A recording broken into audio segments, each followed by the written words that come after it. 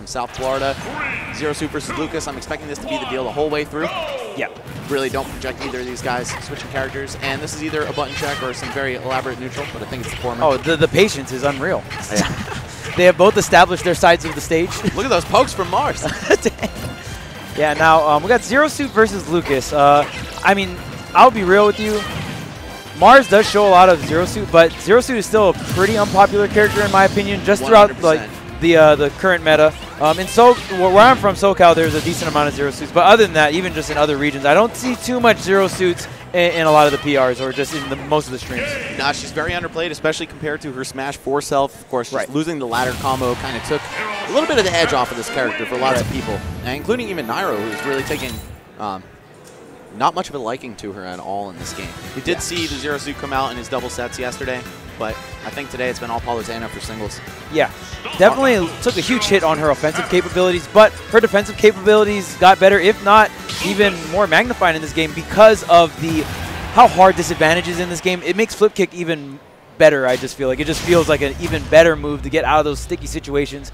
Lucas, another character, kind of a under the radar character in Smash 4, had a lot of the grab combos, but plays a lot different. I actually think Lucas isn't as good as he was in Smash 4 because losing those grab combos, it was a, it was a very polarizing character. If, if you got grabbed, you would get messed up from Lucas. I'm going to have to agree. I think both of these characters just took a steep dive in the output that they can do offensively. But Lucas did gain a really, really good PK freeze in this game. Yes. And some double jump cancel Zair stuff as well.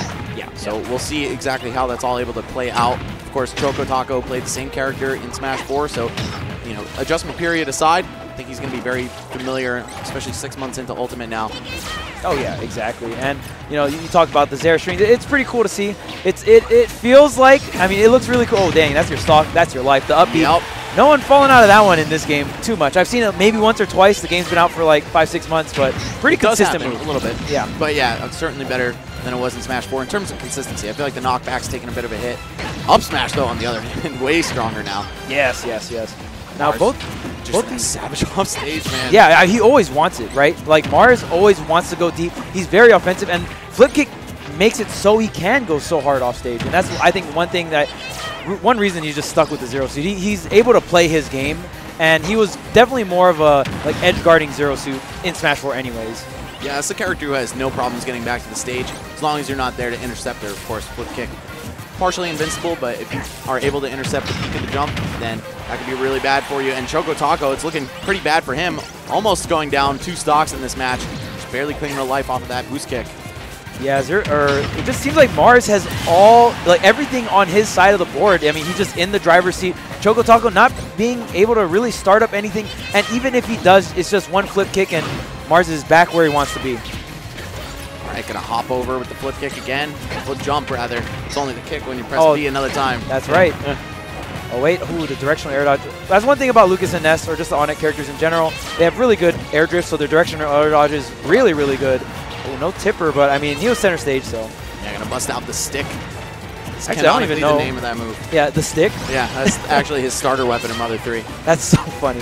Yeah, I actually don't even know if there's a tipper on. I, it might just be a consistent hitbox. Oh, directional air dodge will get punished.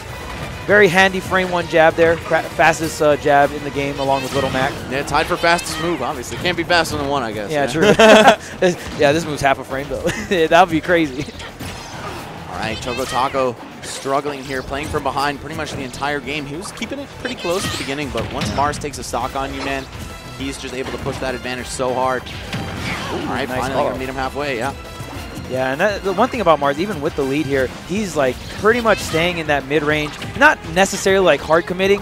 Oh man, that hard commitment there with the pivot grab will get him killed. The up throw, I mean, Lucas is still definitely having those kill throws available to him. The up throw, the back throw. Yeah, certainly. Just no longer can you do down throw up air at a very wide range of percents. Oh yes, bless bless that. I- Yeah, I same, did same. not. I'm that, Shout out to Sakurai, man. I did not have a good time.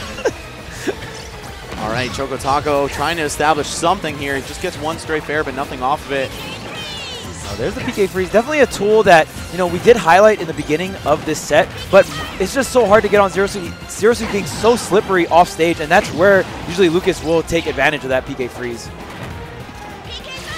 Oh, and Marss, no fear whatsoever. He knew he could line that up. Of course, Lucas PK Thunder taking quite a while to circle all the way around himself. Yeah. So good on Marss for realizing that was the opportune moment to just trade stocks and close it out. And I think he actually ended up surviving at the end too. Yeah, So I think, uh, two stock.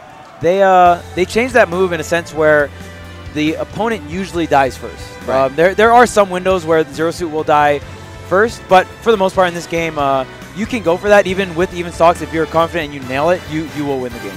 Marss is the dude who would do that. Oh yeah, for He'd sure. He did that all. in Smash 4 like all the time. Dude's crazy. yeah, yeah.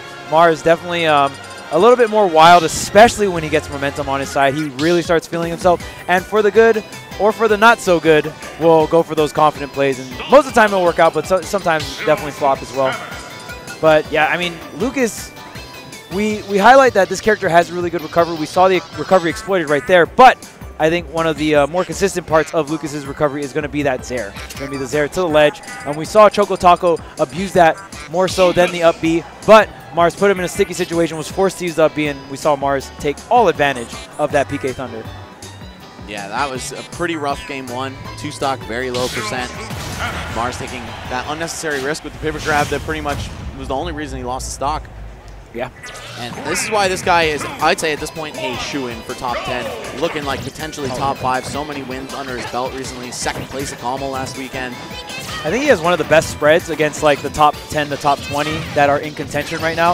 He his, he is either even with everyone or like maybe down a, a set. Versus, At worst. Yeah, and Yeah. that's absolutely insane. He, I feel like he's one of the more consistent players, especially with a character like Zero Suit. He's pretty much the only one really doing it with that character. Exactly. And you know what's crazy is that Marss never was able to crack into the top 10 PGR in Smash 4 when his character was better. But now you see just kind of the more balanced roster of this game really working wonders for him. Doesn't have Oh, to run into Bayonetta's, Clouds, Diddy Kongs. They shut his character down super hard. Yeah, and I mean to be fair, I think he could have easily gotten top 10, but he was definitely a player that just didn't have as much opportunities, and uh, not a lot of things Very were, true. especially towards the end of the game, a lot of things were just happening more so on the West Coast. So it, it was hard for him to get out there and get those opportunities. I think if he traveled enough, he would have been a shoe in for top 10. Of course, due to the sponsorship of Panda Global, he's going to be able to make it out to a lot more stuff. Yes, thank showing goodness. up big here at MomoCon. Winner's side top 128 already. But Chocotaco still hanging on to this first stock. Things are looking a lot better for him. He is one of the best players in South Florida. I think just shy of PR territory in a really difficult region. Oh yeah, yeah. Florida. I mean, I was talking with Bam yesterday. This- Florida is such a talented region. I mean, it's just there's so many killers in there, and uh, being able just under that radar is just it tells a lot. Should be able to make it back from this. Yep. Just having the distance there, Marss unable to reach him. Oh, Sometimes intimidating to challenge PK Thunder, even when it's Ness's. All right, Lucas's rather. Oh yeah, don't want to take that damage, but the plasma whip always gets the job done here, and that's uh, probably one of the bigger changes for Zero Suit. Uh, very reminiscent of the uh, Brawl plasma whip. Yeah, more of a reversion than a change, really. You know, just Yeah, going back to the good old days of that move.